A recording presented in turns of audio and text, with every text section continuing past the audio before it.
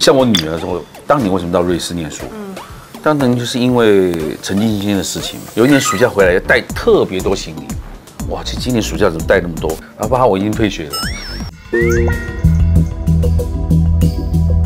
Amazing Talk 这个节目是非常红的，哇，这个这个搭档一定是不是吃喝玩乐都在一起我？们超困扰的，因为我自己去餐厅吃饭的时候，大家都说，哎呢？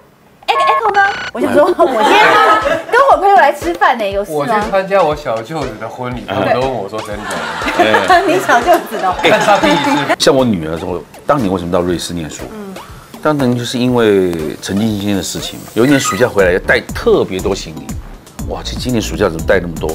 我也没问他什么，啊，爸，我已经退学了。他自她自己就退学了，跟一个男生谈恋爱，结果那男生是别人家也也在谈恋爱，所以就特别当地就会被霸凌。他后来才讲这件事情，他就不想念那个学校回来了。我说那你现在怎么办呢？暑假也过了，你要你总要找个学校念。阿爸，我已经申请好美国学校了。他说九月五号要飞哦，大家都大肆庆祝，说一个礼拜大家都是欢送他，那请他吃饭啊这种。所以我说哎，身上没钱换两万块美金给他，就送他走了，坐飞机出去了。哦，到晚上我呢这这又去餐厅秀表演嘛哈，回来一看他们坐在家里，原机遣返，为什么？被收到两万块现金啊！哦，对，我刚刚讲是只能一万，对不对？我根本不知道。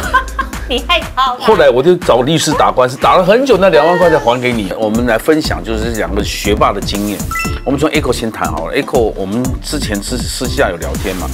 成绩一直都很好，所以也只能够有一个选择而已，就是念医学系。那为什么不当医师？一开始当然这样想啊，蛮帅的，嗯，头发一边白一边黑。哎，对对对。这关于姐姐。哦，但是当然了，认真念起来了之后，发现不是这么一回事，医生其实很辛苦。嗯，还是家里很很富裕。呃，家里其实就是医生，所以还好。哦，对，就富裕。